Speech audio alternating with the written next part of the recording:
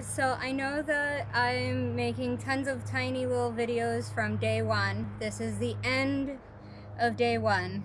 Um, I've had myself, my nephew, my son, his friend all helping me today in spurts. So that way nobody got overwhelmed. We have gutted for the most part. Um, my nephew's actually helping me video this. And I'm gonna have him pan the camper to see what we got done today. Um, see if I can get in.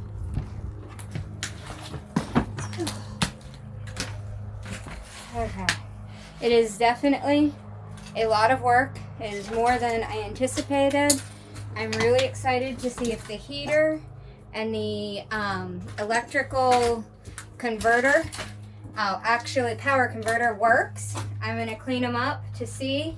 I also have a fresh water tank that I'm gonna clean out and figure out if that's still good. I've got quite a bit demoed. And that is it for the day. Could you turn around so that way you could show the other side of it?